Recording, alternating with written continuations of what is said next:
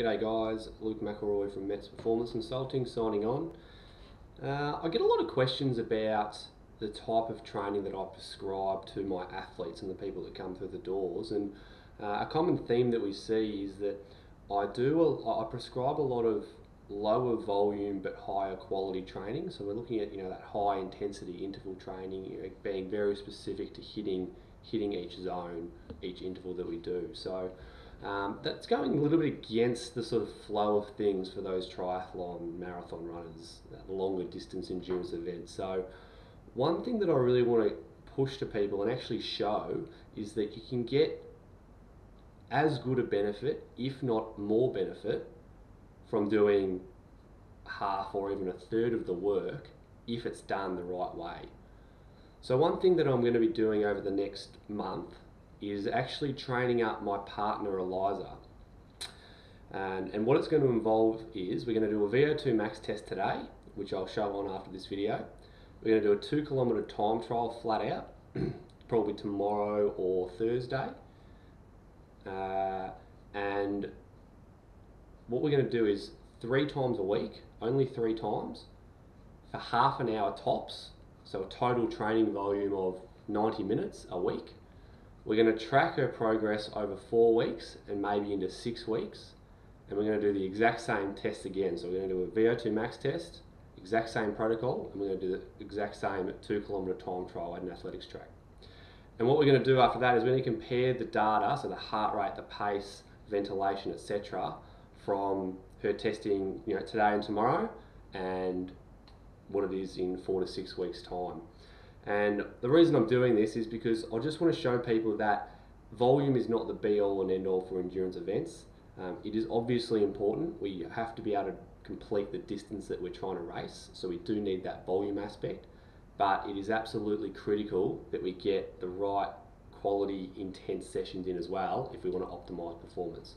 So what we're going to do this time is just show you simply 90 minutes of training a week um, and we're going to see some massive improvements in not only the VO2 max test, but we're going to see some significant improvements in the 2K time trial. And you might be saying, oh, how do we know that she's not going to go easy on the test now and then go harder, you know, in, in four weeks' time when we do it again?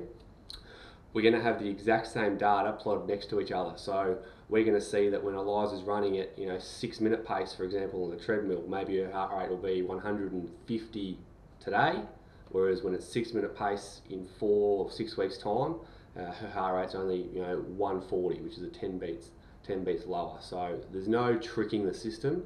We're going to compare the physiological data with the speed that we're going at, and we're going to see the improvements in simply 90 minutes of, of exercise a week. So stay tuned. Uh, I'll be doing videos probably. Well, I'm going to video every training session, so three times a week we'll see some videos, and uh, please follow the progress as we go. Any questions, let me know, and um, again, we'll, we'll see how we go by just doing 90 minutes a week.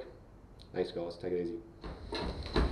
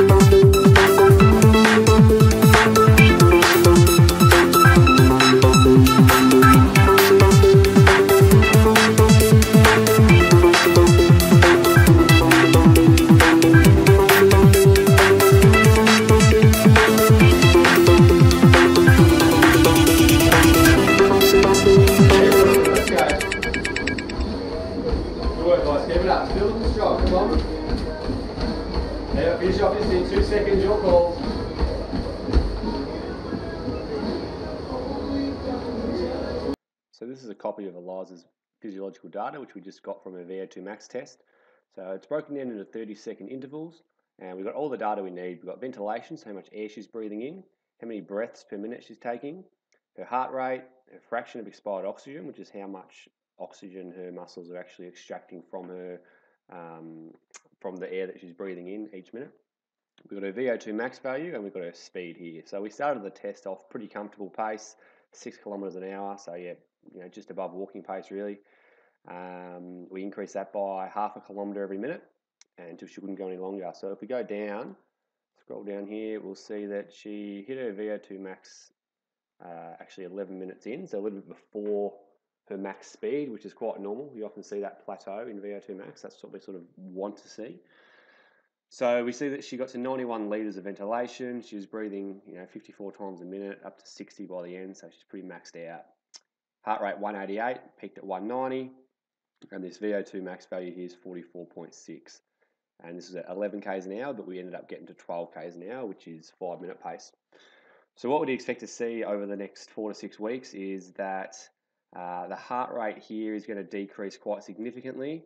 We'll also decrease this fraction of expired oxygen because her muscles will be better at extracting it out, so we can use up a larger proportion of that.